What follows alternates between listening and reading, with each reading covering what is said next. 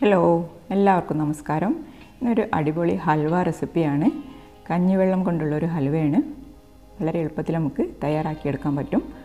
ഇനി ഇൻഗ്രീഡിയൻസ് എന്തൊക്കെയാണെന്ന് നോക്കാം. ഒരു നോൺ സ്റ്റിക്ക് പാൻ എടുക്കാം. അല്ലെങ്കിൽ അടി കട്ടിയുള്ള ഒരു നല്ല പാൻ എടുക്കുക. അതിലേക്ക് മുക്കാൽ ടീസ്പൂൺ നെയ്യ് ഒഴിച്ചു കൊടുത്തിട്ടുണ്ട്.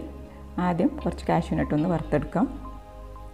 അതിനുശേഷം കുറച്ച് തേങ്ങാക്കൊത്തു കൂടെ എടുത്ത് വെച്ചിട്ടുണ്ട്. അതും കൂടി ഒന്ന് വറുത്ത് മാറ്റി വെക്കാം.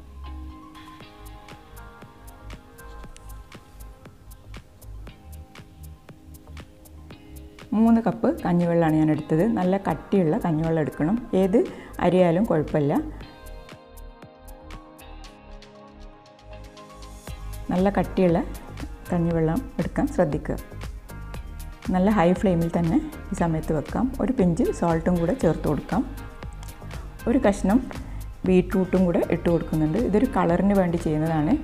ഈ ഒരു കളറിൽ വേണമെന്നുണ്ടെങ്കിൽ മാത്രം ചെയ്താൽ മതി. അല്ലെങ്കിൽ ബീട്രൂട്ടിന്റെ സ്റ്റെപ്പ് ഒഴിവാക്കാം. ബീട്രൂട്ട് ഇട്ടാലും അതിന്റെ ടേസ്റ്റ് ഒന്നും ഹലുവയിലേക്ക് വരില്ല. നല്ലൊരു കളർ കിട്ടുകയും ചെയ്യും. ഹൈ ഫ്ലെയിമിൽ തന്നെ നന്നായിട്ട് തിളപ്പിച്ചെടുക്കാം.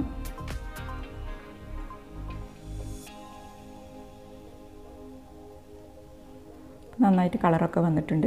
ഇനി നമുക്ക് ബീട്രൂട്ടിന്റെ പീസ് എടുത്തിട്ട് മാറ്റാം. ഈ ഒരു ഹൽവ ശർക്കര വെച്ചിട്ടും ചെയ്യാവുന്നതാണ്. ഞാനിപ്പോൾ പഞ്ചസാരയാണ് ചേർക്കുന്നത്. അര കപ്പ് പഞ്ചസാര ചേർത്ത് കൊടുക്കാം. നന്നായിട്ട് തന്നെ യോജിപ്പിക്കുക.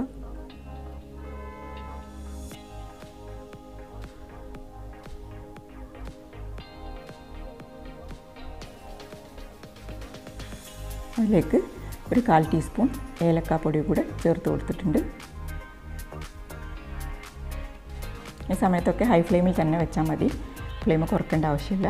ഈ ഒരു പരുവത്തിനാവുമ്പോൾ നന്നായിട്ട് ഫ്ലെയിം കുറച്ച് നമുക്ക് ഇളക്കി കൊടുത്തുകൊണ്ടേയിരിക്കാം അര ടീസ്പൂൺ നെയ്യ് കൂടെ ചേർത്ത് കൊടുത്തിട്ടുണ്ട്. ഈ ഒരു പരുവാന് മുന്നേ ഇളക്കിക്കൊണ്ടിരിക്കേണ്ട ആവശ്യമില്ല.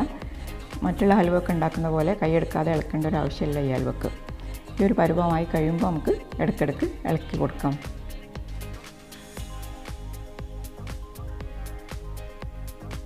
നന്നായിട്ട് കുറുകി വരണം. ഇപ്പോൾ അത്യാവശ്യം കുറുകിയിട്ടുണ്ട്. നമുക്ക് നേരത്തെ വറുത്ത് വെച്ച തേങ്ങാക്കൊത്തും വണ്ടിപ്പരിപ്പും ഇട്ട് കൊടുക്കാം. കിസ്മിസോ എള്ളോ ഒക്കെ വേണമെങ്കിൽ നമുക്കിതിൽ ചേർത്ത് കൊടുക്കാവുന്നതാണ്.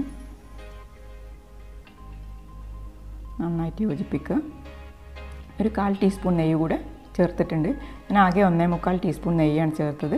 നെയ്യിന്റെ അളവൊക്കെ ഓരോരുത്തരുടെ ഇഷ്ടത്തിനനുസരിച്ച് ചേർക്കാം. അപ്പം ഏകദേശം പാകമായി വന്നിട്ടുണ്ട്. സ്പാച്ചുലയിൽ ഒന്ന് എടുത്തു നോക്കുക. അപ്പോൾ ഇങ്ങനെ തിക്കായിട്ട് ആണ് വീഴുന്നതെങ്കിൽ ആ സമയത്ത് നമുക്ക് തീ ഓഫ് ചെയ്യാം. ഈ ഒരു പരുവത്തിനാണ് നമുക്ക് കിട്ടേണ്ടത്.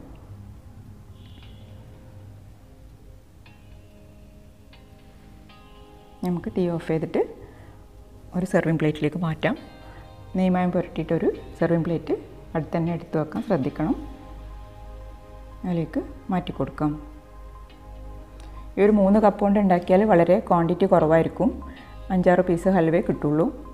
കഞ്ഞിവെള്ളം എത്ര അനുസരിച്ച് അതിനനുസരിച്ച് മാത്രം നമുക്ക് കൂടുതൽ ഉണ്ടാക്കിയെടുക്കാം. കുറച്ച് ചോറ് വെക്കുന്നവർക്കൊക്കെ കുറച്ച് കഞ്ഞിവെള്ളമല്ലേ ഉണ്ടാവുള്ളൂ.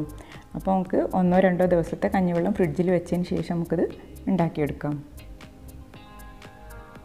ഇപ്പോൾ നന്നായിട്ട് തണുത്തിട്ടുണ്ട്. ഇനി നമുക്കിത് കട്ട് ചെയ്യാം. കടയിൽ നിന്നൊക്കെ വാങ്ങുന്ന അതേ രീതിയിലുള്ള കൺസിസ്റ്റൻസിയിലുള്ള ഹൽവ തന്നെയാണ്. കഞ്ഞിവെള്ളം കൊണ്ട് ഉണ്ടാക്കിയതാണെന്നും ഒട്ടും തോന്നില്ല. കുറേ മുന്നേ തന്നെ എന്റെ ഉമ്മ യൂട്യൂബൊക്കെ ഉണ്ടാവണേ മുന്നേ തന്നെ ഉണ്ടാക്കുന്ന ഒരു റെസിപ്പിയാണിത്. അന്ന് ശർക്കര വെച്ചിട്ടായിരുന്നു ചെയ്യാറ്. അപ്പോൾ ഞാൻ പഞ്ചസാര വെച്ചിട്ടാണ് ചെയ്തത്. ഞാൻ മുറിച്ചിട്ട് കാണിച്ചു തരാം.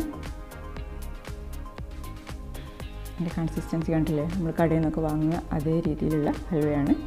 അപ്പോൾ എല്ലാവരും ട്രൈ ചെയ്ത് നോക്കുക ഇഷ്ടപ്പെട്ട സപ്പോർട്ട് ചെയ്യുക താങ്ക്സ് ഫോർ വാച്ചിങ്